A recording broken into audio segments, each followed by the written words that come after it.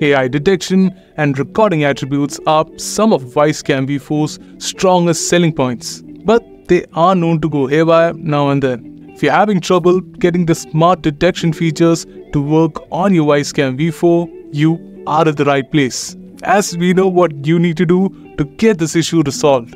So stick around till the end of this video to get your Wyze Cam V4 out of this clutter.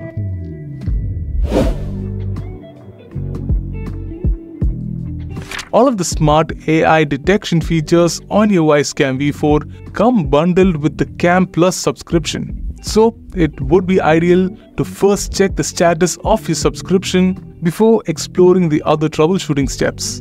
To do so, head over to the Account tab from the bottom toolbar of your Wyze app and select Subscriptions. Next, select the Plus subscription tile that you have subscribed to to check the validity. Now, if you have more than one Wyze Cam, opt for a Wyze Cam Unlimited subscription with support for multiple cameras since the basic Plus plan supports just one camera per subscription. Once done, restart the camera and the app and check for the issue now.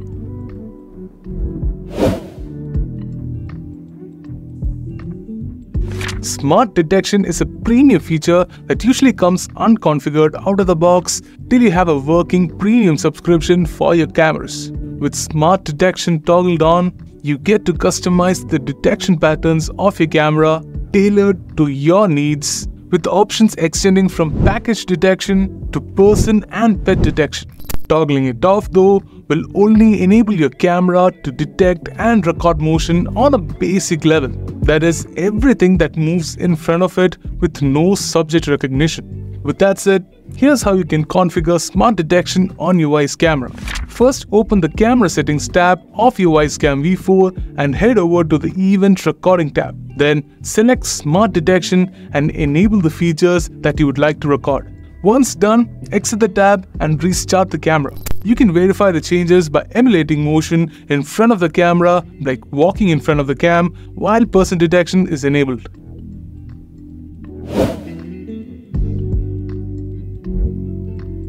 If you have a ton of dynamic objects such as swaying leaves or a waving flag within the camera frame, your camera is likely to pick up all these motions as false events. To avoid such inconsistencies, enable detection zones for your camera to focus only on a particular patch of your frame and ignore everything else.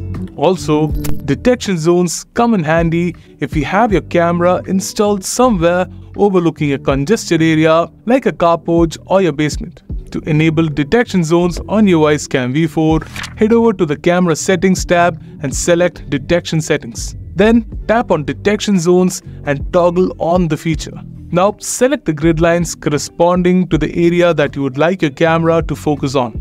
Once done, exit the settings tab and check for your issue now. One other thing that you need to keep an eye on is the number of tiles that you select for the detection zone. Too little of a grid will cause the camera to ignore a good margin of events and too many may trigger more false events.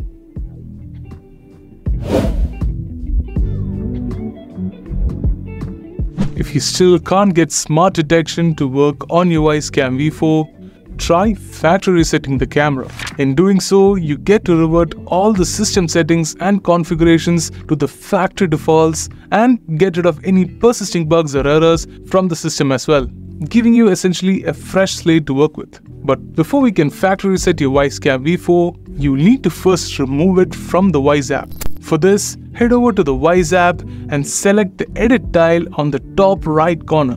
Then tap on edit device and tap on the red delete button corresponding to your Wyze Cam V4. Confirm your selection and you're done. Now press and hold the setup button on your Wyze Cam for about 10 seconds or until the camera shows a solid red light. The camera shall then show a flashing LED indicating that the device has been reset and is now ready to set up. You can now pair your camera back to the Wyze app and check for the issue now. And with that, I believe that I've touched on everything that I wanted to talk about regarding fixing a Wyze Cam V4 with smart detection issues. If you found this video useful, consider leaving your thoughts below, giving us a thumbs up, and subscribe to our channel for more interesting Wyze Cam content like this.